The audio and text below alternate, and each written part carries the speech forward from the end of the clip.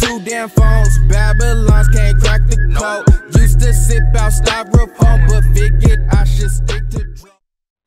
Hello everyone, that's here back again with another video and we officially have the dates for the Android 8 update for the Samsung devices.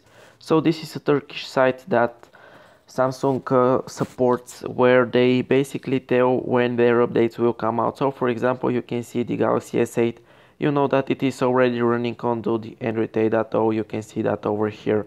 And uh, for example, the Note 8 will come on to the 30th of March 2018. So this is when the update will come out for this device.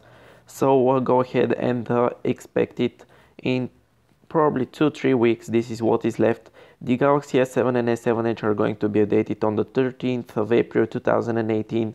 And uh, something interesting is that we don't have any date for Samsung Galaxy S6 and you can see that uh, for now there is uh, no plans on updating it.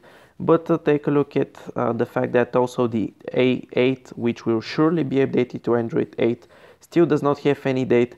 So right now we only have the dates for the S7, S7 Edge, Note 8 and for the A7, A, A3, A5 and A7 2017 so this over here they will come onto the 25th of May 2018. So the owners of these devices already know of these uh, six devices when to expect their updates. Uh, there are no other dates into this site, so uh, I will leave a link down into the description below so that uh, you can check uh, check it out for yourself. If you have any question, leave them down into the description below. So uh, thank you for watching, like this video and subscribe for more content like this.